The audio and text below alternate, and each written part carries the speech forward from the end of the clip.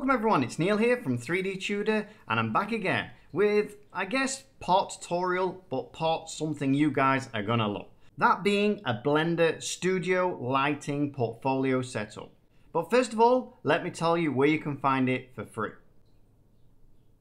So here we are on the 3D Tudor Gumroad website and as you can see, there are a lot of stuff here. We have models, we have courses, and you will also find here free things like material packs, resources that go along with my YouTube videos, and of course, this studio lighting pack. So head on over there and take a look. It grows every day, so even if there's something that doesn't interest you right now, then just stick your email in the bar, click follow, maybe something someday will come up that you're interested in.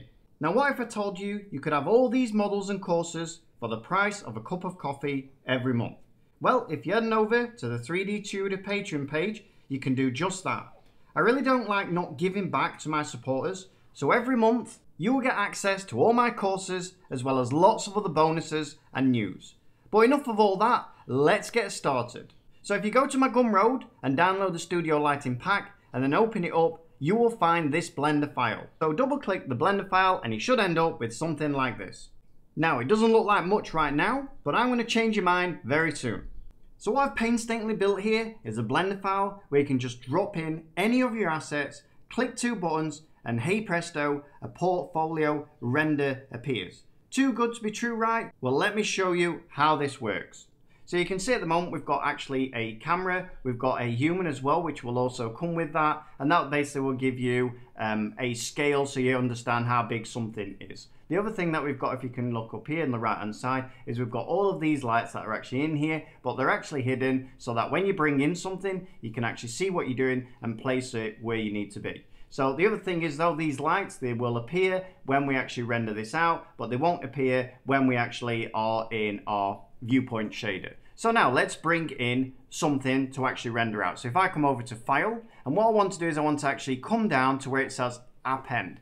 Now, before you bring it in, it's very important in your own Blender file that you come up to File, and what you do is you come down to where it says External Data, and you must take where it says Automatically Pack into Blender File, and then save out your work. The reason for that is then it's going to pack all the textures and all um, the UVs, everything like that, into one file. Once you've done that, come up to File, go down to Append, and what I'm going to use is I'm going to use my actual food sacks. So what I'm going to do is I'm going to find my food sacks here. So you can see it's in here. I'm going to go to the Blender build. I'm going to actually click on the blend file. And then what I'm going to do is I'm going to come down to where it says object because these now are actually within the blend file. So you can see you've got meshes, materials, things like that. And you can actually bring in materials. But on this occasion, we're just going to bring in the object. So we're going to shift click one, shift click the uh, other two, click append and let it load up. Drum roll.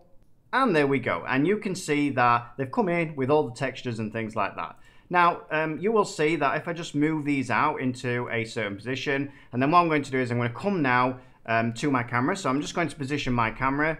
Let's uh, press N just to bring um, open the view and click camera to view. And now I'm just going to position it, zoom in a little bit, and now I'm hoping to get a really good shot so I can see the grains and things like that.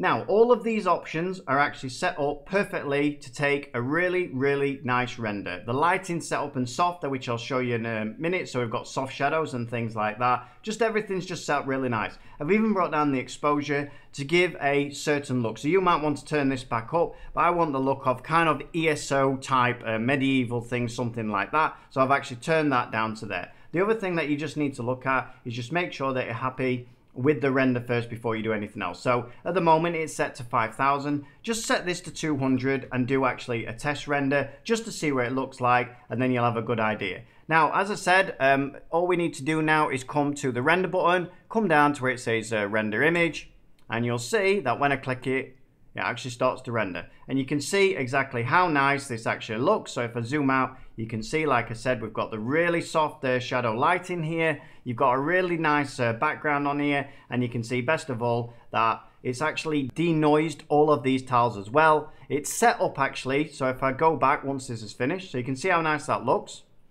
The one other thing that I should say is if I close this down now and go back, you can see that the moment the feature set is on experimental and it's set to GPU compute. Now there is one thing that I will say that if you put this um, onto um, supported and then you put this on CPU, so this is on your CPU instead, then you must go down and make sure that the performance is set higher. So I would try 256 tiles um, by 256. The reason for that is that if you're using your CPU, bigger tiles are better than smaller tiles. The other thing is as well, if you want to use your GPU, so let's put it on GPU uh, compute, normally you have to put this on experimental, that's what I do, and then come over to your edit, go down to preferences, and what you want to do is you just want to make sure that CUDA is ticked and if you're running a GeForce which supports CUDA, then just make sure these are both ticked. That then will enable you to actually use your graphics card efficiently.